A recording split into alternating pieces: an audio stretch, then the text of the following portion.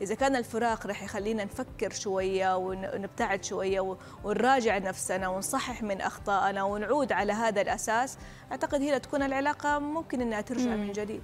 صحيح بالضبط. هلا أحيانا بنشوف أو الدراسات بتقول إنه هيدا الفراق ممكن يكون فعلا وسيلة لإعادة تقييم العلاقة وسيلة لكل حدا يقعد مع حاله ويشوف هل فعلا الشكوى اللي كان عم يشكيها شريكه لأنه فعليا قبل ما ينفصلوا كل حدا عم يشكي للطرف. نحن بنشكي وجعنا طرق مختلفة كمان. صح.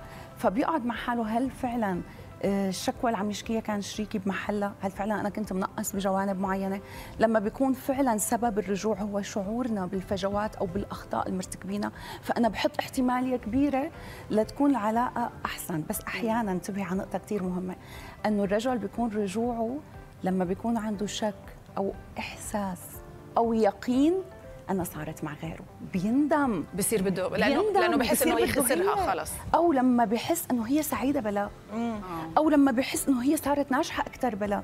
وانتبهي على نقطة كثير لازم ننتبه في هذه النقطة. في نقطة كثير مهمة حتى إذا الرجل هو اللي قرر الانفصال وهو اللي انسحب ومشي ما بيقبل. شريكته بيعتبرها لو تاركها لو هو هو قرر بيعتبرها هي من ممتلكاته وما بصير حدا يقرب ما يصير تعيش حياتها وهيدا اللي بيسبب ضغوط. بتلاقي الرجل ليش بيعمل ضغوط نفسية على طليقته؟ ما بصير تتزوجي أنا بدي آخذ منك الأولاد أنا أنا أنا إذا بت... حتى يخلي حياتها واقفة بغض النظر بالضبط لأنه بيعتبر الرجل بال... بطبيعته بيعتبرها إن هي كانت ملكه. لو تركها ما بصير حدا هذا موضوع آخر صراحة. بدنا بدنا وقت كثير كبير يعني, يعني. هي قصص نحن ما فينا نتغافل عنها. بدنا نكون دايرين هذا لازم يكون نقطة مهمة ناخذها في الاعتبار. دكتورة زينة صوفي شكرا لوجودك أهلا وسهلا فيكي شكرا, شكرا لك يا راويه شكرا يا ريم.